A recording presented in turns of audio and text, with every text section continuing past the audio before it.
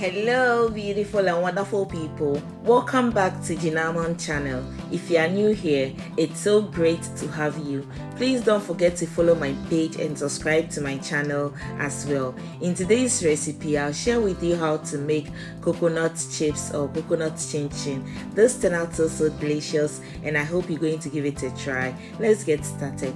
So I'll be using fresh coconut for it and I'll break it into two. Take out the water. Please don't show the water away because we're going to use it for the dough. So um, take out the water, sieve it and set it aside. I'll then go ahead and take out the coconut from the shells. After I'll cut off the skin i'll take off the skin as demonstrated in the video if you don't know how to do this please put it on a chopping board and then um, chop it little by little until you've taken out all the skin because the skin is not needed in this recipe. After I'll go ahead and wash it and then shred it. Make sure you use a grater the smaller part of the grater to shred it until you are ready just like so. So this is what you're looking for. I'll then put it in my cheesecloth and then squeeze out the water or the milk from the coconut so if you don't have a cheesecloth you can use a clean napkin or um, a strainer. Make sure you squeeze it till everything till the milk is out and then add in the coconut water to it and set it aside.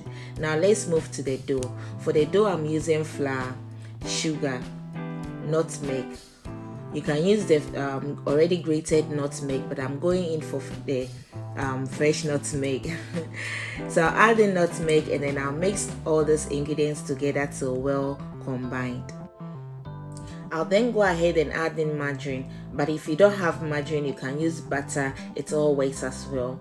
So I'll um, break it into I'll mix until it forms a breadcrumbs consistency like this and then add in the desiccated coconuts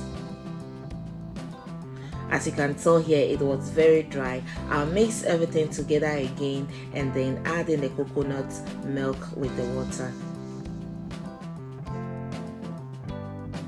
Lastly, I'll add in vanilla essence, but if you have coconut flavor or any flavor of your choice, you can use that. I'll mix these ingredients together until it forms a dough.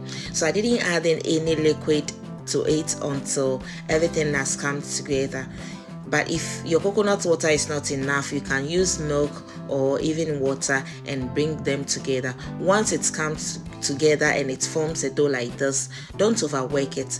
Cover it with a clean film or a kitchen napkin and then let it sit for at least 15 minutes before moving to the next step. After 15 minutes i'll go ahead and preheat my oil after, I'll sprinkle a little bit of flour on my work surface, transfer the dough on it and divide it into three equal parts. It's because I'm having a small surface, but if you have a big working surface, you can go ahead and roll all at once. So I'll flatten it with the tips of my fingers and then use the rolling pin to roll it. You're looking for 2 to 3 millimeters. It shouldn't be too thick neither too thin. That's what you're looking for. I'll use my pizza cutter to shape it and then cut it into smaller pieces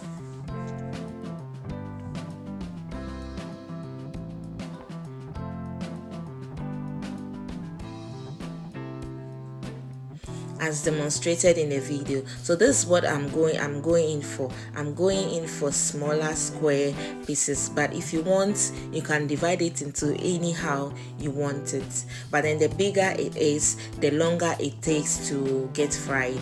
You're looking for a crunchy coconut chin chin i'll list the exact amount of the ingredients used in the description box or in the comment section below I then sprinkle a little bit of flour on it and then um, pick it. So at that point, the oil was ready, and then all you have to do is go ahead and fry these bad boys.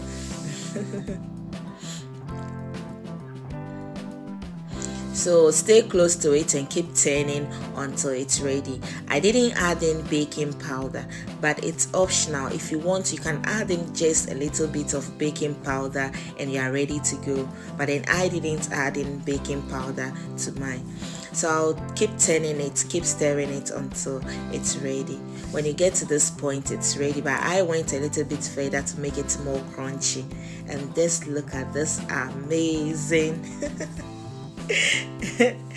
trust me if you try it you're definitely going to love this because it's so so delicious. Especially me that i'm a coconut lover i love everything about coconuts.